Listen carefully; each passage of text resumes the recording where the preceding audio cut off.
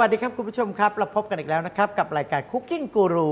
เป็นประจำทุกวันอาทิตย์8โมงครึ่งทางอมรินทร์ทีวีช่อง 34 นะครับ คุณผู้ชมครับ วันนี้อาจารย์ยิ่งศักดิ์มีอาหารหรูๆมาฝากคุณผู้ชมนะ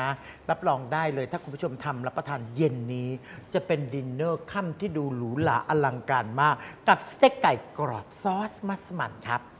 ถ้าเอ่ยคำว่าสเต็กเนี่ยมันก็คงจะต้องเป็นอาหารจานหรูรับประทานแล้วก็มีเนื้อสัตว์กันเต็มๆใช่ไหมคุณผู้ชม แล้วความอร่อยของสเต็กโดยทั่วไปก็ต้องอยู่ที่น้ำเกรวี่หรือน้ำซอส แต่วันนี้พิเศษนะคุณผู้ชมเป็นสเต็กลูกครึ่งไทยเพราะซอสของเราอะเป็นซอสมัสมั่นนะครับ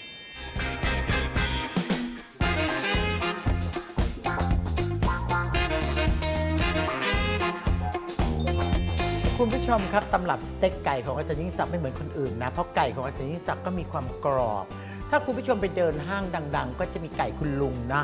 วันนี้ก็เรียกว่าไก่ป้ายิ่งล้วกัน เพราะตำรับนี้เด็ดขาดมาก รับรองได้ว่าอร่อย เพียงแค่คุณผู้ชมต้องเตรียมนะ อันนี้ต้องบอกเลย แป้งชุบไก่ทอดปรุงสำเร็จรสคลาสสิกตราโลโบคุณผู้ชมจะเห็นว่ามันมีสองซองนะ ข้างหนึ่งก็จะเขียนว่าสำหรับผงหมักอีนี้เป็นซองสำหรับ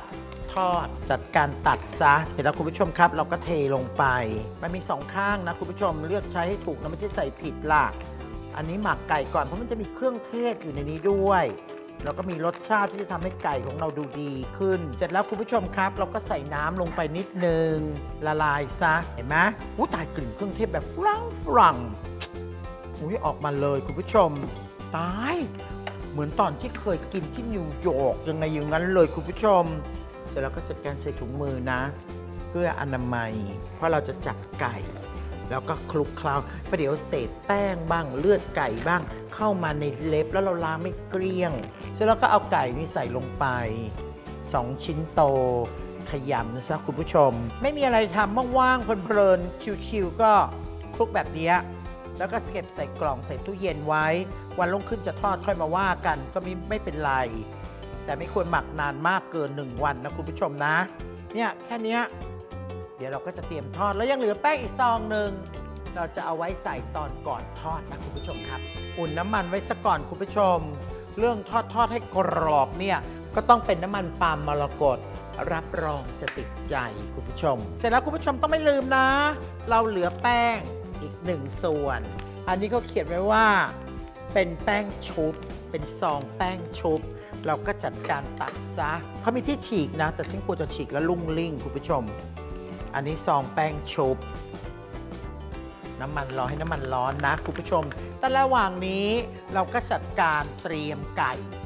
เราก็ต้องหยิบขึ้นมาหนึ่งชิ้นแบบนี้คุณผู้ชมนะ จะเห็นว่ามันมันหมักเอาไว้อยู่ใช่ไหมเครื่องเทศก็จะเข้าไปแล้วเรียบร้อย แล้วเราก็จัดการคลุกกับแป้งแห้งๆอะเสร็จแล้วก็คลุกสองข้างคุณผู้ชม เนี่ยให้ทั่วๆเห็นไหมอันนี้สำหรับชุบทอด เสร็จแล้วเราก็เตรียมวางไว้เตรียมทอด เอาอีกชิ้นหนึ่งขึ้นมาคุณผู้ชม จัดการวางลงไปซะนี่ปุ๊บเห็นไหมคุณผู้ชมเราก็จะได้ไก่เตรียมไว้สำหรับการทอดเรียบร้อย พร้อมแล้ว เอาละน้ำมันร้อนแล้ว เราก็จะหย่อนชิ้นแรก ของเราลงไปเลยคุณผู้ชม อะ ได้อีกชิ้นหนึ่งปึ๊บนี่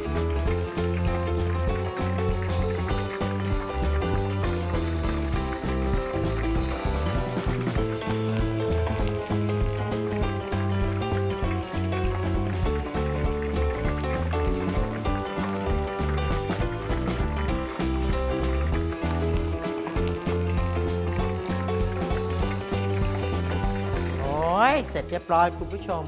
ไก่หอมมากเลย น่ารับประทานมาก เดี๋ยวขั้นตอนต่อไปเรามาทำซอสมัสมั่นกันนะครับ เราไม่ได้ทำเป็นแกงมัสมั่นถ้วยโต เราก็ทำเป็นซอสสำหรับราดอาหารจานแบบกึ่งยุโรปเป็นฟิวชั่นไทยได้นะคุณผู้ชม นี่ใส่เนยสดลงไปในกระทะนิดหนึ่งใส่ไปนะคุณผู้ชม แล้วก็น้ำพริกแกงมัสมั่นโลโบ ก็ใส่ไม่ต้องเยอะสำหรับไก่ชิ้นหนึ่งก็ครึ่งซองแล้วก็ใส่ลงไปนะคุณผู้ชมน้ำตาลปี๊บนิดหนึ่งใส่ลงไปผัดเลยก้อนหนึ่งนะ เสร็จแล้วก็ผัดตรงนี้เข้ากันก่อนนะ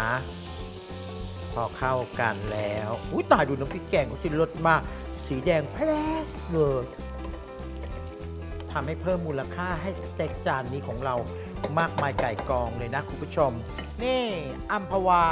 กะทิแท้ร้อยเปอร์เซ็นต์ขั้นทันทีตั้งแต่กระทะเปลือกเขาใช้เวลาสั้นๆแค่ 3 ชั่วโมงนะคุณผู้ชมในการผลิตรับรองความหอมมันในทุกขวดเลยคุณผู้ชม ก็ไม่แต่งกลิ่นแล้วก็สีสังเคราะห์เนี่ยสันนิสักก็จะพยายามใส่คุณผู้ชมดู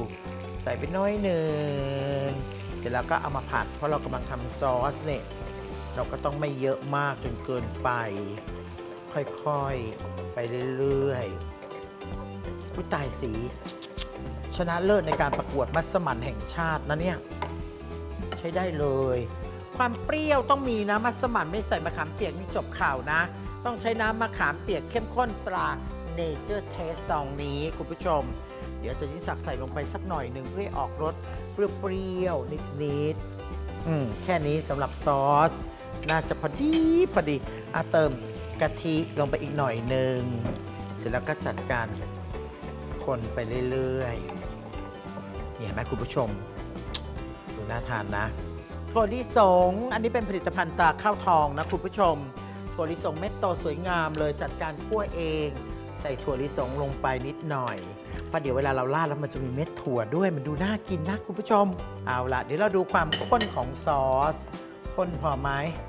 อาจจะต้องเติม cooking cream ลงไปหน่อยหนึ่งนะคุณผู้ชม เป็นครีมที่ใช้สำหรับการทำอาหารคาวอุ้ยตาย perfect perfect พอใส่ครีมเสร็จนะหยุดเลยปิดเตาเลยค่ะ คุณผู้ชมคะ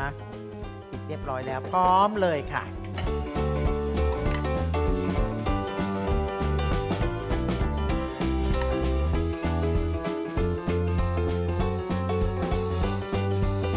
เสร็จแล้วคุณผู้ชมอย่าลืมเรามีหอมเจียว เราก็ใส่หอมแดงเจียวด้วย คุณผู้ชม อาหารจานนี้ก็จะสมบูรณ์แล้วล่ะพูดตายเพอร์เฟกจริง ๆ เลยคุณผู้ชม นี่นะ ถ้าอยู่ในโรงแรมระดับ 5 ดาว จานนี้หลายร้อยเลยแหละ